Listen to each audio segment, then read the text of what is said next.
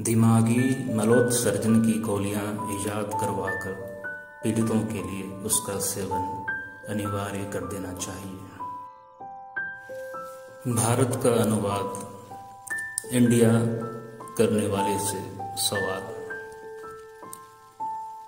अगर किसी के पिताजी का नाम नेत्रानंद है तो क्या लोग उसे ज्वाय ऑफ़ आई कहकर बुलाएँगे? जब देशभक्ति को अंधभक्ति समझा जाए तो अपनी अंधभक्ति का खुलकर ऐलान करना चाहिए।